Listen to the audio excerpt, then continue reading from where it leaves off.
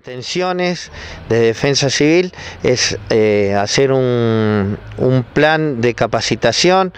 en diferentes temáticas, por ejemplo el sismo con lo que es el plan de contingencia, con lo que es RCP, con lo que es primeros auxilios a través de la Cruz Roja, así que bueno,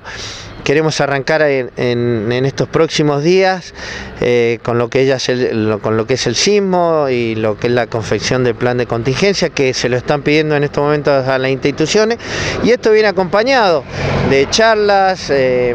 eh, informativas, de capacitaciones, de concientizar a los alumnos, a la familia de esta comunidad educativa de cómo proceder ante, ante un sismo y bueno, después ir avanzando en diferentes temáticas. Tenemos personal muy capacitado en el área y queremos aprovecharlo y bajárselo a la población.